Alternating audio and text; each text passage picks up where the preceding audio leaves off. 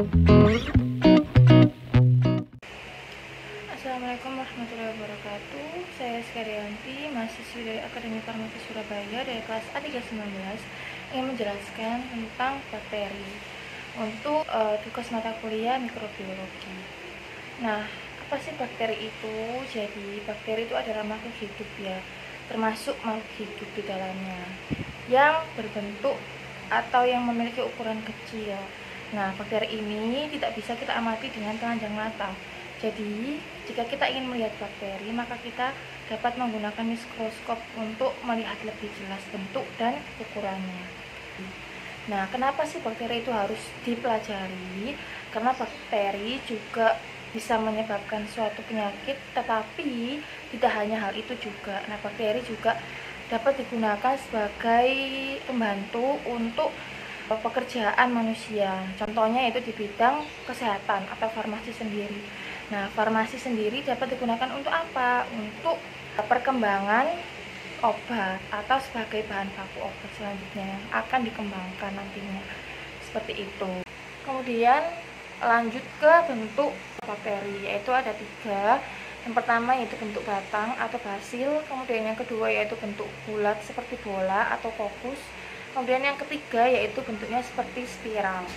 Nah, untuk bentuk basil atau batang tersebut yaitu dibagi menjadi tiga macam yaitu monobasil, kemudian ada diplobasil atau diplo, sorry, diplobasil, kemudian yang ketiga yaitu ada streptobasil.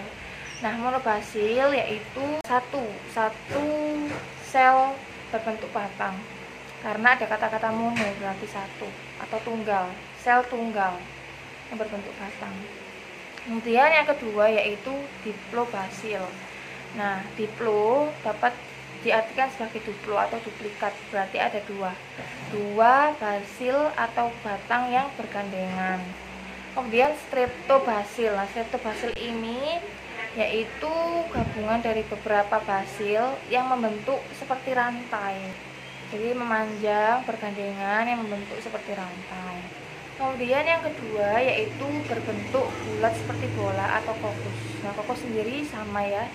Ada beberapa macam juga. Yang pertama yaitu ada monokokus, yang kedua yaitu ada diplococcus, yang ketiga yaitu ada streptococcus dan yang terakhir ada staphylococcus. Sebenarnya sama artinya dengan yang batang. Kemudian yang terakhir yaitu berbentuk spiral. Nah itu juga ada sama, ada macamnya, yaitu ada tiga macam. Yang pertama yaitu spiral sendiri, yang kedua yaitu vibrio, kemudian yang ketiga yaitu spiraceta atau spiroseta. Yang pertama yaitu spiral. Nah spiral ini uh, of course bentuknya seperti spiral. Nah contoh bakterinya adalah spirillum. Kemudian yang kedua yaitu vibrio. Nah, vibrio ini berbentuk seperti tanda koma. Nanti saya akan tunjukkan gambarnya di sebelah sini. E, contoh bakterinya yaitu vibrio cholera. Kemudian yang ketiga yaitu spiroseta. Spiroseta ini golongan bakteri spiral yang dapat bergerak. Nah, contoh bakterinya yaitu Spiroseta pallida. Nah, untuk perkembangbiakan bakteri yaitu ada dua cara. Yang pertama yaitu rekombinasi, lalu yang kedua yaitu membelah diri. Nah, rekombinasi ini artinya yaitu perpindahan secara langsung materi genetik atau DNA di antara dua bakteri lainnya. Lalu yang membelah diri artinya yaitu membelah diri menjadi dua sel anakan yang sifatnya sama dengan sifat sel induknya. Kemudian untuk rekombinasi genetik sendiri yaitu ada tiga macam. Yang pertama yaitu transformasi, yang kedua yaitu transduksi, yang ketiga yaitu konjugasi. Untuk transformasi sendiri yaitu perpindahan materi genetik atau DNA dari bakteri yang satu ke bakteri yang lainnya. Nah, untuk yang transduksi yaitu sama pemindahan materi genetik atau DNA dari satu bakteri ke bakteri yang lain dengan perantara virus. Nah, lalu yang terakhir yaitu konjugasi. Nah, konjugasi ini apa? Konjugasi ini penggabungan dari sel bakteri positif dan negatif yang nantinya akan membentuk suatu jembatan yang digunakan sebagai pemindahan dari materi genetik tersebut atau DNA. Flagel berdasarkan macam dan jumlahnya. Pertama yaitu ada monotrik, kemudian ada lopotrik, lalu ada amfitrik dan peritrik. lebih jelasnya saya akan memberikan gambar di sebelah video sebelah sini lalu mekanisme bakteri dalam menimbulkan penyakit itu seperti apa sih? Nah sini ada dua macam ya yaitu invasi dan toksigenitas nah invasi sendiri itu adalah kemampuan bakteri dalam menyerang dan menyebar. Kemudian ada toksigenitas nah toksigenitas ini adalah kemampuan bakteri dalam menghasilkan toksin, nah, toksin atau racun.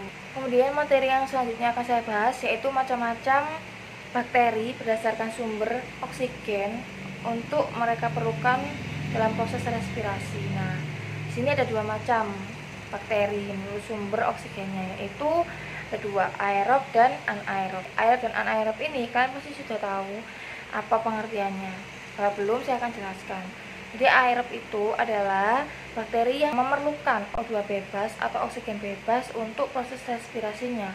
Contohnya yaitu Nitrosococcus. Nah, Nitrosococcus ini biasa kita jumpai pada tanah karena dapat menghasilkan senyawa nitrat atau nitrit ya di dalam tanah yang gunanya untuk menyuburkan tanaman. Lalu yang kedua yaitu anaerob. Nah, kalau aerob tadi yaitu memerlukan oksigen, berarti yang anaerob kebalikannya yaitu tidak memerlukan oksigen atau O2 bebas dalam proses respirasinya. Contohnya yaitu Streptococcus lactis. Kemudian bakteri dibagi menjadi tiga kelompok lagi berdasarkan kebutuhan oksigen. Nah, kalau yang tadi, yang anaerob dan aerob tadi adalah menurut sumber oksigennya. Nah, kalau ini adalah menurut kebutuhan oksigen mereka yang mereka butuhkan. Itu ada tiga macam. Pertama yaitu aerob obligat, yang kedua yaitu anaerob obligat, yang ketiga yaitu anaerob fakultatif. Nah, untuk aerob obligat yaitu bakteri yang dapat hidup dalam suasana yang mengandung oksigen. Contohnya yaitu nitrobakter. Nah, terus yang kedua yaitu anaerob obligat. Nah, anaerob obligat ini adalah kebalikan dari aerob obligat tadi. Jadi bakteri ini itu dapat hidup dalam suasana yang tidak atau tanpa mengandung oksigen. Contohnya yaitu Clostridium tetani. Kemudian yang ketiga yaitu ada anabogat fakultatif. Nah, anabogat fakultatif ini adalah bakteri yang dapat hidup tanpa atau adanya oksigen. Contoh bakteri ini adalah Salmonella typhosa atau penyebab penyakit tipes. Nah, kemudian heterotrof sendiri dibagi menjadi dua macam, yaitu heterotrof saprofit dan heterotrof parasit. Nah, heterotrof saprofit ini adalah bakteri yang Cara memperoleh makanannya yaitu dari sisa sampah, sisa zat makanan, kemudian dari sisa bangkai atau bangkai hewan. Nah, bakteri ini biasanya digunakan sebagai pengurai dan penyedia zat untuk tumbuhan karena mereka dapat menguraikan sisa makanan tersebut sehingga dapat dijadikan sebagai pupuk. Nah, yang bagus atau yang baik untuk tumbuhan. Kemudian yang kedua yaitu heterotrof parasit. Nah, dari kata-kata sendiri yaitu parasit berarti sangat mengganggu ya. Nah, biasanya bakteri ini memperoleh makanannya dari sel induknya yang mereka hinggapi atau yang mereka tempeli. Kemudian yang kedua yaitu ada bakteri autotrof. Nah, bakteri autotrof berarti kebalikan dari bakteri heterotrof. Kalau bakteri heterotrof tadi adalah cara memperolehnya dari zat organik yang ada di lingkungannya karena tidak dapat menyusun zat makanannya. Nah, kalau autotrof ini bakteri yang dapat menyusun zat makanannya. Nah, pada autotrof ini dibagi menjadi dua kelompok, yaitu autotrof dan fotoautotrof.